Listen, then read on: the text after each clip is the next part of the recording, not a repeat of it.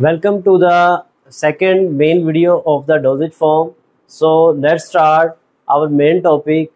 What is drug?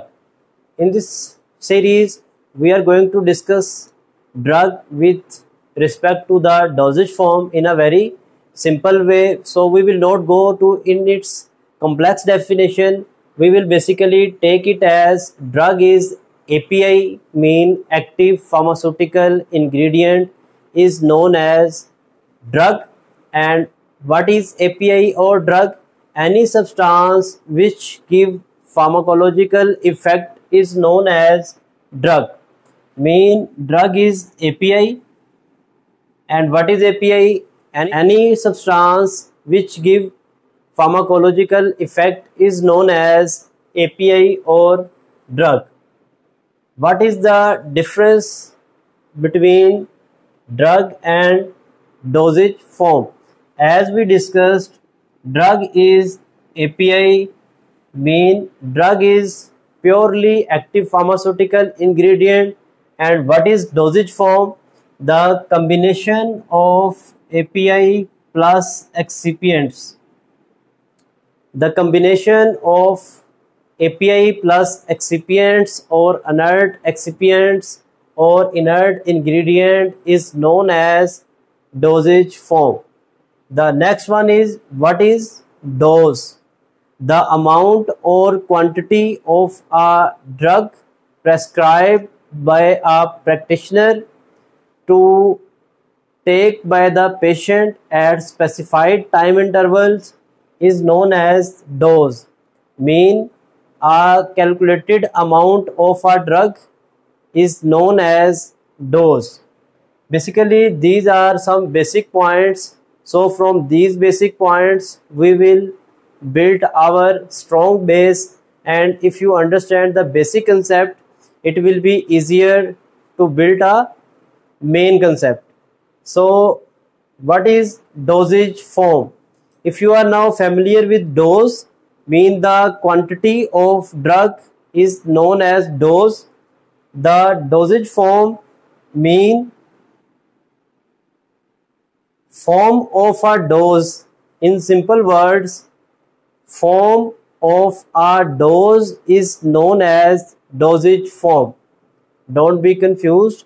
Mean the form in which any drug is available in market for its use is known as dosage form and in simple words the form of dose in which it is used by the patient to give its pharmacological effect or to deliver it to the site of action is known as dosage form.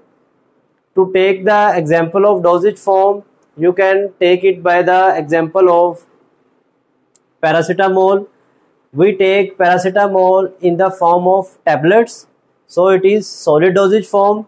We also take paracetamol in the form of liquid preparation means suspension. That is liquid dosage form. Mean one drug is used in two forms. So it has two dosage forms. When we take it in form of tablets it is solid dosage form.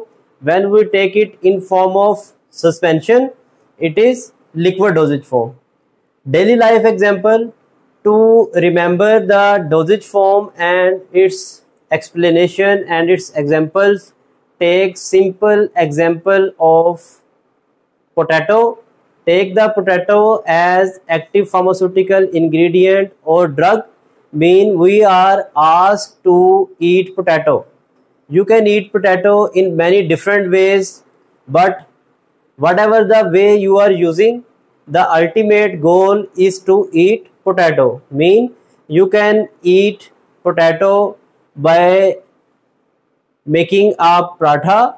So when you eat the paratha basically you are also eating the potato.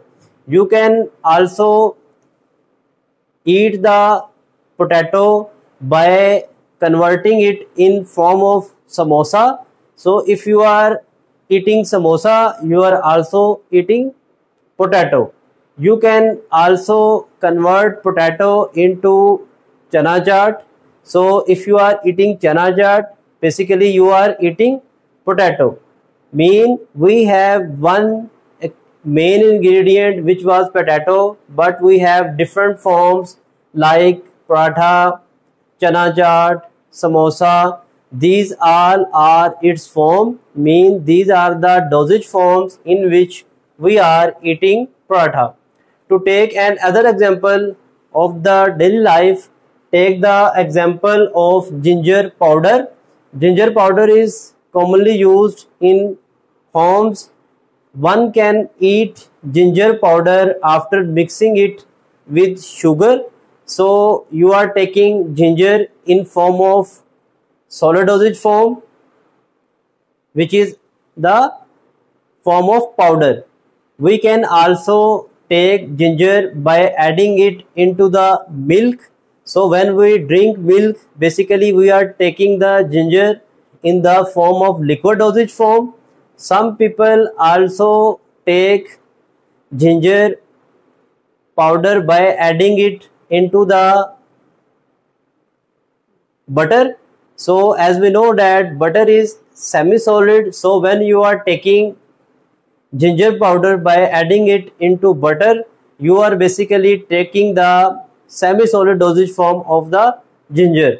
In the same way one drug can be used in different dosage forms depending upon its type of use its stability its availability there are many factors which are contributing to the formulation of dosage form we will discuss one by one.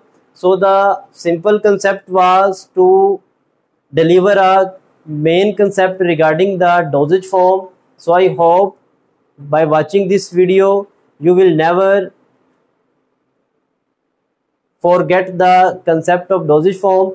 If you like the video, share it to others and do subscribe my channel because in the third video, we will start regarding the need of dosage forms, properties of dosage forms, characteristics of dosage forms and so on. We will continue till its classification and description of each dosage form. So also visit pharmainform.com to read interesting articles and do share my videos to the others till the next video. Allah Hafiz.